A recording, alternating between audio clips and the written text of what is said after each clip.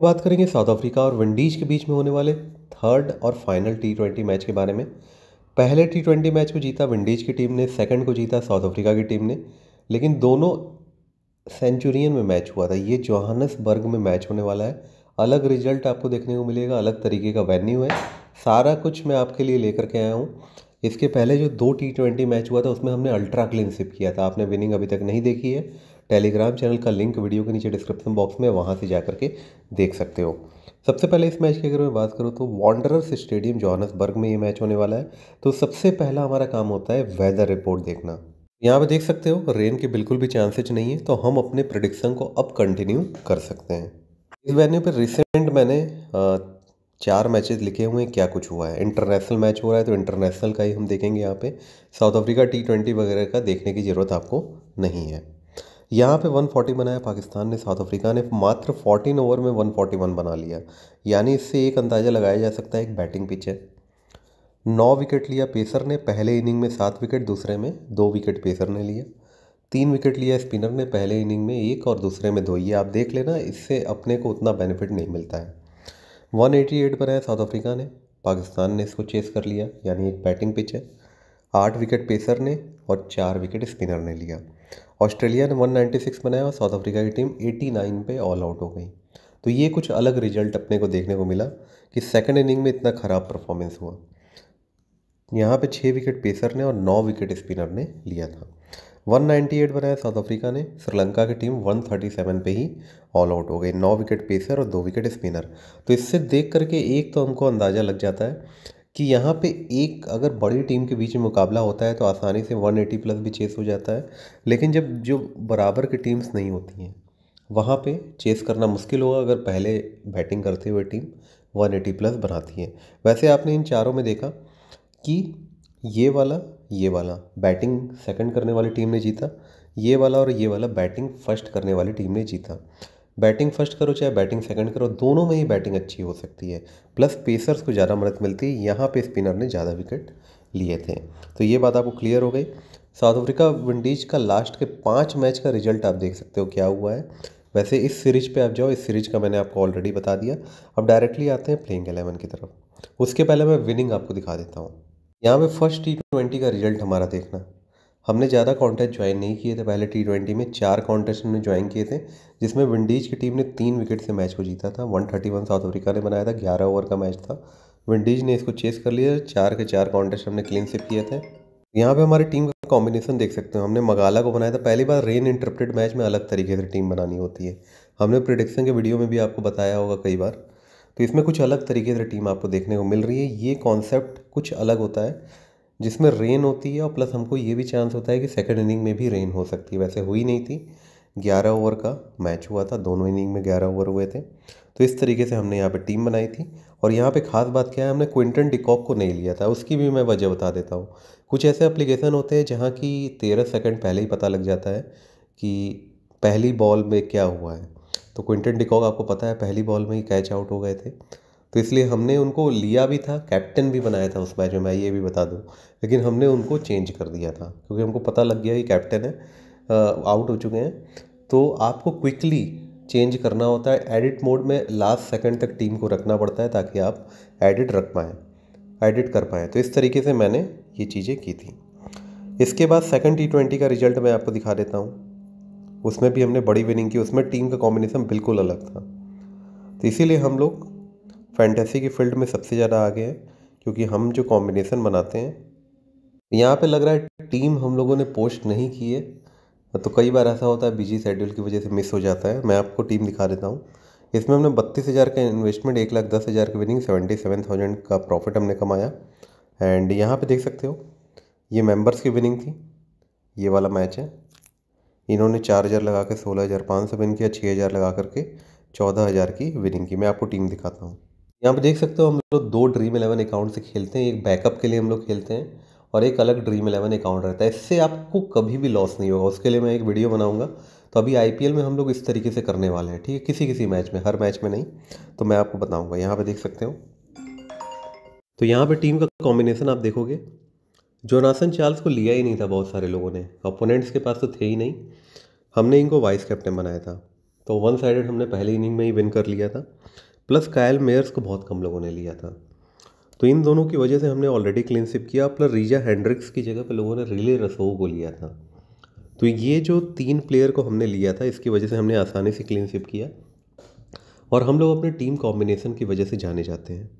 हमको captain vice captain की performance की कई बार ज़रूरत नहीं पड़ती। जैसे कल आपने पाकिस्तान और अफ़गानिस्तान वाला मैच देखा होगा। हमारा टीम कॉम्बिनेशन टेलीग्राम पे आकर के देख लेना।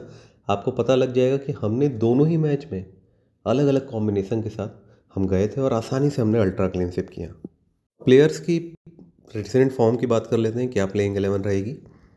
तो यहाँ पे देख सकते हो रिले रसो फ्लॉप जा रहे हैं बट इन्होंने पीएसएल में अच्छा किया है। तो यहाँ पे देख सकते हो बट यहाँ पे सीरीज़ में दोनों मैच में फ्लॉप रहे हैं, ठीक है? पहले मैंने इनके बारे में बताया है। इनकी, इनके बारे में बताने के पीछे वजह ये है कि यही आपकी विन और लॉस का फासला तय करेंगे। रिले रसो, इस मैच में बहुत कम लोग लेके आएँगे। आपको इनको अपनी टीम में ले करके चलना ही चलना है इस मैच में। इंपॉर्टेंट रहेंगे। यहाँ पे इस वेन्यू पे इनका रिकॉर्ड बहुत अच्छा है। रिजा हैंड्रिक से बात करें, दोनों मैच में अच्छा परफॉर्मेंस किया, यहाँ शुरुआत अच्छी की। डिकॉक तो सेंचुरी लगा के आ रहे हैं तो इनके बारे में क्या ही बताया जाए। बाकी इनकी रिसेंट फॉर्म आप यहाँ पे देख सकते हो। एडन मार्करम इंपॉर्टेंट है बॉलिंग बैटिंग दोनों से परफॉर्मेंस कर रहे हैं। डेविड मिलर ने यहाँ 48 बनाया था लास्ट मैच में फ्लॉप रहे थे। अगर पहले बैटिंग आती है तो इनको आप अपनी टीम में ले सकते हो। इसके अलावा क्लासिंग को ग्रैंड में ट्राई करना, उतने इंपॉर्टेंट नहीं रहेंगे, लेकिन ओडीआई मैच में इन्होंने सेंचुरी लगाई थी, आपको याद होगा। इसी टीम के अगेंस्ट में, इसी सीरीज़ में। पर्नेल की बात की जाए, अच्छी बॉलिंग करा रहे हैं, डेथ ओवर में करा रहे हैं इंपॉर्टेंट रहेंगे। जैनसन ने भी अच्छी बॉलिंग कराई, तीन विकेट लिया ये दोनों इंपॉर्टेंट रहेंगे। मगाला लास्ट मैच में फ्लॉप रहे, काफ़ी एक्सपेंसिव रहे, उसके पहले तीन विकेट अठारह रन। तो इनको भी ट्राई कर सकते हो, ये भी डेथ ओवर में आते हैं। रबाडा को हमने लास्ट मैच में नहीं लिया था, अगर आपने टीम हमारी देखी होगी। जबकि रबाडा इंपॉर्टेंट प्लेयर हुआ करते हैं। बट हमने किसी सोच की वजह से, किसी वजह से हमने इनको नहीं लिया था। वो हम कभी बताएँगे आपको प्रडिक्शन में। अभी टाइम की कमी है। यहाँ पे अगर तबरेज सैमसी की बात की जाए तो दो ही ओवर किया था। तो स्पिनर्स को उतनी मदद यहाँ नहीं मिलती है। सेंचुरियन में भी मदद नहीं थी, इसलिए हमने इनको प्रेफरेंस कम ही दिया है। वैसे इनको हम जनरली ले करके चलते हैं और ले, लिया भी था हमने। विकेट कई बार इनको मिल जाता है, आप इनको ले सकते हो अपनी टीम में। लेकिन पेसर्स को लोगे तो ही आपको ज़्यादा बेनिफिट मिलेगा। प्लस यहाँ पे बेंच पे कुछ प्लेयर हैं, उनके रिसेंट फॉर्म आपको दिख रही है। यहाँ पर लुंगी नगेटी विकेट लेस रहे थे। लास्ट मैच जो खेला था, बट जब भी खेलते हैं डेथ ओवर में आते हैं पावर प्ले में भी आते हैं विकेट चटकाते हैं। उसके पहले फॉर्चून खेले थे, कुछ खास नहीं किया है। वैसे प्लेयर काफ़ी अच्छे हैं ये बट पेसर्स को ज़्यादा आपको तवज्जो देनी है। अब आते हैं विंडीज की बात कर लेते हैं। विंडीज की तरफ़ से मेयर्स इंपॉर्टेंट रहेंगे, जैसा मैंने पिछले मैच में भी लिया था, इस मैच में भी इंपॉर्टेंट है। ब्रैडन किंग फ्लॉप जा रहे हैं बट प्लेयर अच्छे हैं, इसके पहले का फॉर्म देखो ओडीआई में भी अच्छा किया था। जोनासन चार्ल्स आपके लिए मस्ट पिक रहेंगे 118 बनाया था। निकोलस पूरन फॉर्म में नहीं है, इसलिए इनको अभी फ़िलहाल के लिए आप नहीं भी ले सकते हो। बट आपको पता है कि क्या कुछ कर सकते हैं। रॉबिन पॉविल हर मैच में अच्छा कर रहे हैं, यहाँ फोर्टी थ्री यहाँ पर विकेट भी लिया इन्होंने एक, और अट्ठाईस रन बनाया इंपॉर्टेंट है। रोमारियोस एफर्ट का भी वही हाल है। यहाँ से बैटिंग से किया, कभी बॉलिंग से करते हैं। प्लेयर काफ़ी अच्छे हैं यूजफुल प्लेयर हैं, ऐसे ऑलराउंडर है बैटिंग बॉलिंग दोनों से पॉइंट देंगे, और विंडीज का विकेट तो गिरेगा ही। ओडियन स्मिथ का भी वही है। मैंने आपको बताया था, एक ओवर करेंगे तो भी विकेट मिलता है, दो ओवर करते हैं तो भी विकेट मिलता है।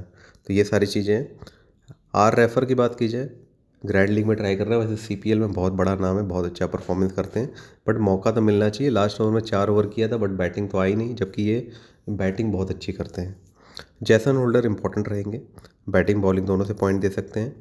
बैटिंग तो आना मुश्किल है, काफ़ी नीचे बैटिंग करेंगे। अकिल हुसैन वही हाल है कि अगर कोई लेफ़्ट हैंडर चल रहा है तो फिर इनको बॉलिंग नहीं दी जाएगी, जैसे कि क्विंटन डिकॉक चल रहे थे। तो ये लेफ़्ट हम ऑर्थोडॉक्स से राइट हैंडर को परेशान करते हैं। कॉटरल को इस मैच में हमने लिया था, आपको, आपने देखी होगी हमारी टीम दो विकेट लिया था। यहाँ हमने इनको नहीं लिया था, किसी वजह से हमने नहीं लिया था। तो हर मैच में सिचुएसन में अगर रेन इंटरप्टेड मैच है या बीस ओवर का हो रहा है तो सब में टीम बनाने का तरीका अलग होता है। इसीलिए हम लोग फैंटेसी की फ़ील्ड में बेस्ट हैं। यहाँ पर देख सकते हो बेंच पे इतने प्लेयर हैं।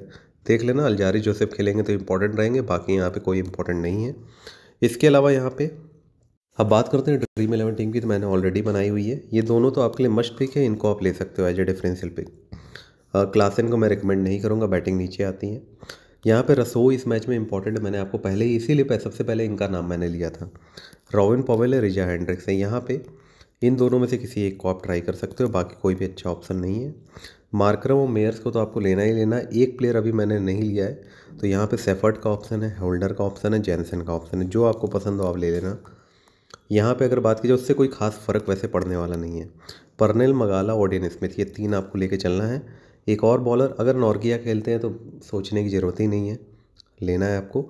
इस मैच में आप रबाडा को ले सकते हो। पिछले में हमने इनको नहीं लिया था बट इस मैच में इंपॉर्टेंट रहेंगे। आपको बिल्कुल इनको लेकर के चलना है। तो इस तरीके से मैंने यहाँ पे टीम बनाई है।